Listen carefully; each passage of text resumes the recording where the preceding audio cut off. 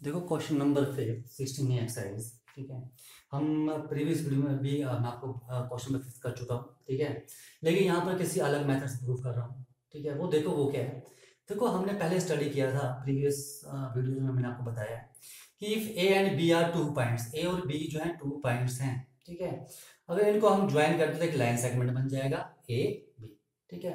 और अगर हम इस ए बी लाइन का अगर परपेंडिकुलर बाइसेक्टर ड्रॉ कर दें ए बी लाइन का जो अगर हम परपेंडिकुलर बाइसेक्टर ड्रॉ कर दें, ठीक है?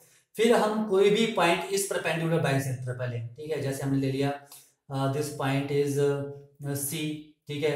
This point is D and this point is E मान लो कोई भी पॉइंट ले लें।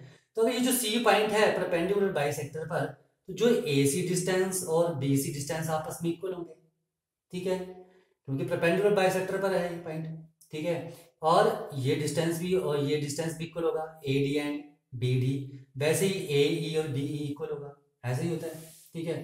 तो देखो, हमारे पास क्या दिया है? इन, मैं फ़र्स्ट पार्ट की बात कर रहा हूँ। P A is equal to P B इसका मतलब क्या हुआ?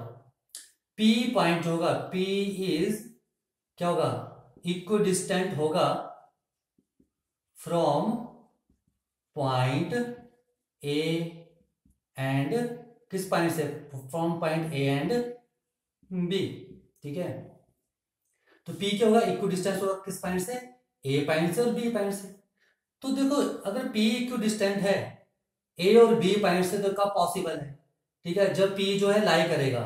ठीक है that implies P lies on the perpendicular bisector ठीक है perpendicular bisector of line joining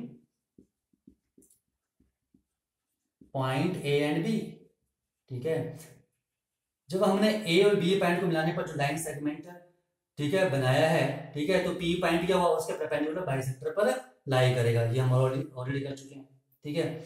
similarly वैसे ही, ठीक है ठीक है, वैसे ही आपके पास देखो Q A Q A and Q B equal दिए हैं। इसका मतलब क्या हुआ?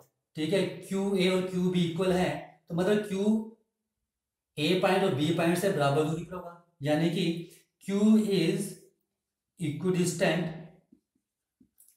from point A and B ठीक है? डेट इंप्लाइज क्यू क्या करेगा? Q lies on perpendicular bisector तो परपेंडिकुलर बाइसेक्टर पर लाई करेगा, ठीक है? Of line joining of line joining point A and B. ये चीज़ है समझ में? ठीक है? देखो, ये फ़र्स्ट एंड सेकंड पार्ट दोनों के लिए कर रहा हूँ proof this is for first and second part दोनों देखो। P A P B P A P B are equal इसका मतलब पी जो है वो परपेंडिकुलर बाइसेक्टर पर, ठीक है लाई करेगा। किसके? ए और बी के।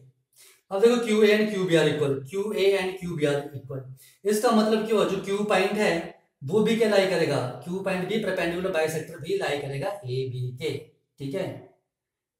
ये चीज़ है समझ में? ठीक है? तो यहाँ से हमारे पास क्या गया कि जो हमारे पास पी पॉइंट है क्यू पॉइंट है, वो कहाँ लाई कर रहे हैं?